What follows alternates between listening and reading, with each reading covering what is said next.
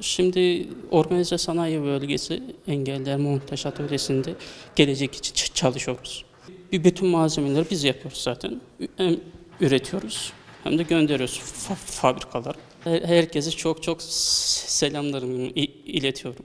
Bir yıldır burada çalışıyorum. Fabrikadan gelen malzemeler yapıyoruz. Ee, üretip tekrar fabrikaya gönderiyoruz. Yiyebilemezsek yardım, öğretmenimiz yardımcı oluyor.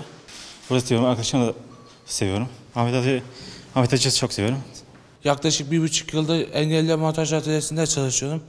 Biz buradan fabrikalardan gelen malzemeleri montajlıyoruz, paketliyoruz. Burada çok şey öğrendim. Çok eee sosyalleşmek olsun gerekse. Gerekse iş öğrenmek, iş hayatının uyum sağlamak. Eee, Burada çok şey öğrendim diyebilirim. Ahmet Başkanıma saygılarımı sunarım, arz ederim. öğrenmek istedim, meslek olsun dedim. Elim alışsın dedim. Sağ olsun Fatma hocam sağ olsun çağırdı. Allah razı olsun hakkını yemeyiz. Ahmet Ataş'ın Allah razı olsun gönderdi bizi de. Biz onun için hakkını verdik yani.